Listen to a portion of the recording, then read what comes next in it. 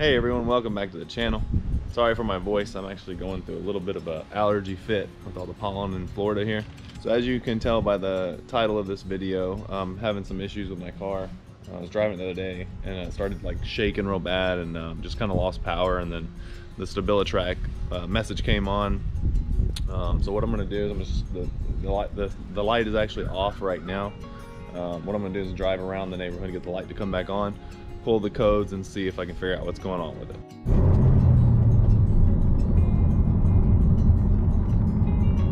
As you can see, the service StabiliTrak is on.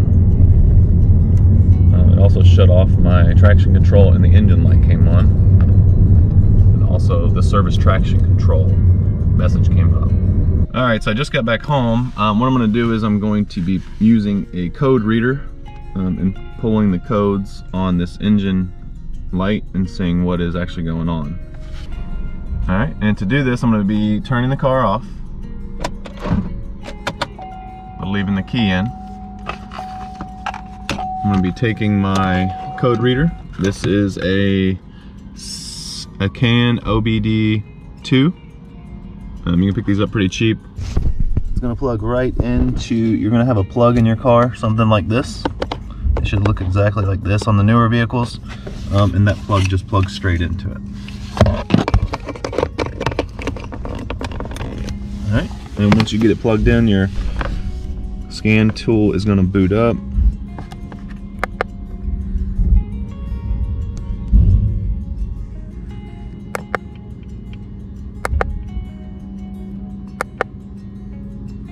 All right, so the code I'm getting is a P0304. And a P0304 stands for a misfire, and since it has a 4 at the end, it's a misfire on cylinder 4. So that means it's probably either a plug or ignition coil issue, so I'll be replacing that today. Alright, so I just ran up to uh, Advanced Auto Parts and I got a replacement coil. Um, is an AC Delco. Um, ended up with going with Autolite Iridiums. You need four of those. You need a wrench, an extension, these plugs are 5 eighths, so make sure you have a 5 eighths. And then also a T30 Torx bit, and that's gonna be to take off the um, coil, ignition coil. Also, before you start, you should disconnect the battery. This is gonna clear out those codes that you had. That way, um, once you install the new ones, um, you'll be able to see if it actually uh, fixed it. If the code comes back, that means that um, that was not the fix. All right, the first step is gonna be to remove the cover on the top. It just pops off like that. Set that out of the way. Um, and then you're gonna need a Torx, your T30 Torx bit to take these two bolts out right here. So just take them out. Save these screws.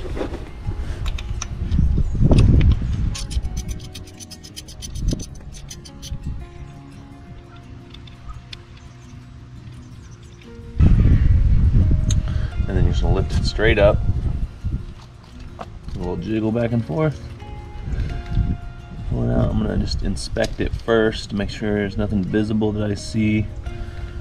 Um, nothing that I can see. Um, I do know that these plugs have not been changed since I've owned it.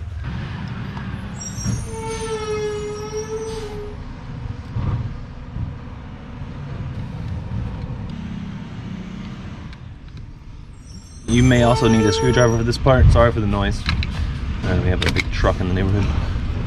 Um, so you just pull that out and then you lift it straight up.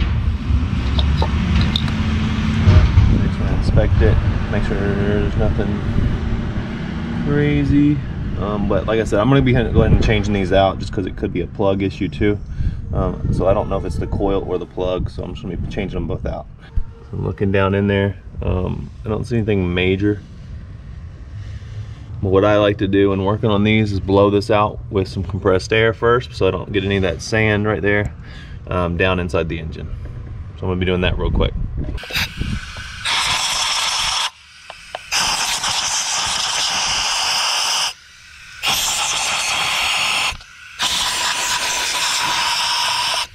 All right, so now I'm just gonna be removing all the plugs. The one extender was not enough, so I went ahead and added another one. See them on there. Slowly turn them off. Like that.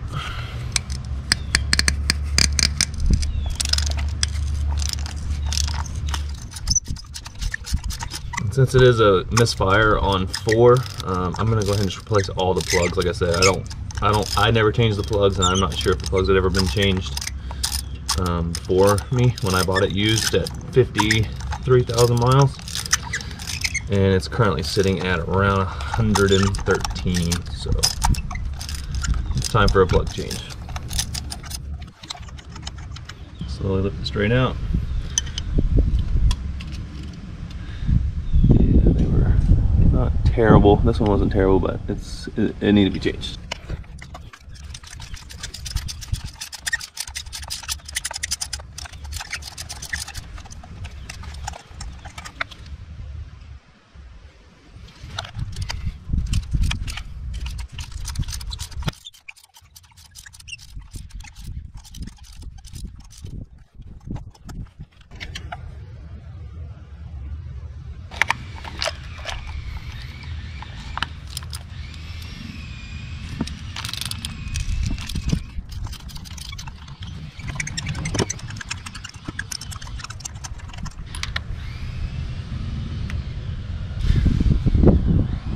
As you can see, the top of this plug is really, really badly rusted. Um, so that's probably what was causing the, um, the misfire issue right there.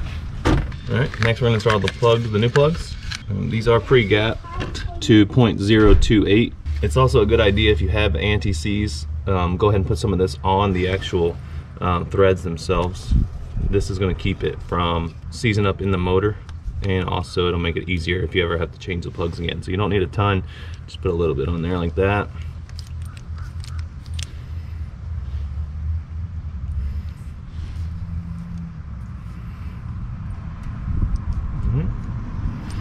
that and just put it in. And as you start it, you want to make sure you don't cross thread this. As you're screwing it in, it's not cross threaded, it's going in nice and smooth until it stops. And then you want to torque it down probably to about 20 foot-pounds.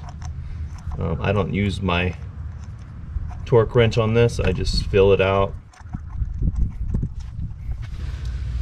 So like I was saying, I don't torque these down. So what I do is I get them good and tight once they once it stops, and then I do it about another quarter to a half turn, and that'll be right where it needs to be.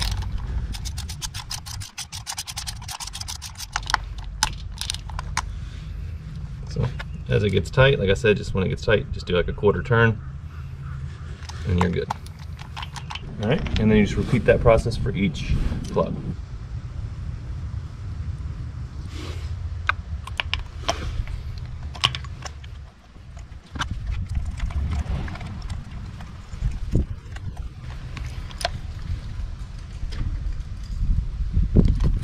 If your socket gets stuck in there, you may need to use some needle nose pliers to pull it out.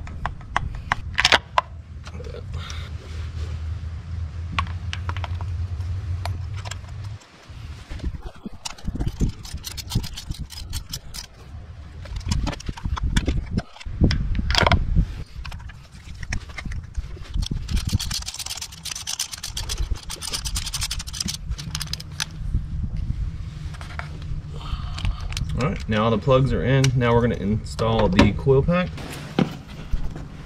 Grab our new one. So we're gonna slide that straight down on top. So push that straight down, make sure it seats right on all the plugs.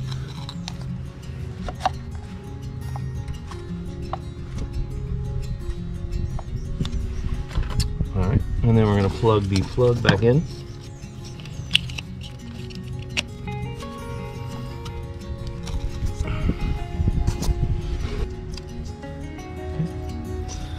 Okay. Lock the little piece back in.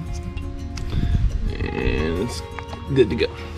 All right, next you're just gonna reinstall your Torx screws.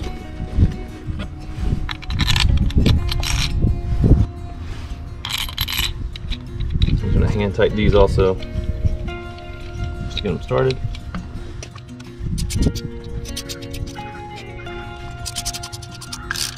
And these don't need to be torqued down heavy, they just need to be just, just tight enough to hold it on.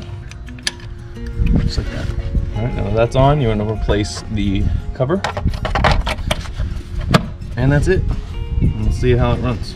All right, once everything's done, you're gonna put your battery terminal back on. Tighten it down. That, and now we're gonna start it up.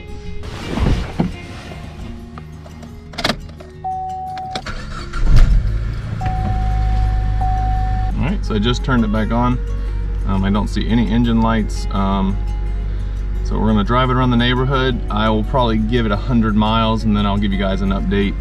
Um, the current mileage is at 1,000 or 112,222. So once I get it up to 112,322, I will follow up with you guys. If you guys know why this one would have rusted so bad, leave me a comment down below. Um, these actually don't look bad, but it's just kind of strange how, how bad that one rusted up. Hmm. All right, guys, it's been about a week.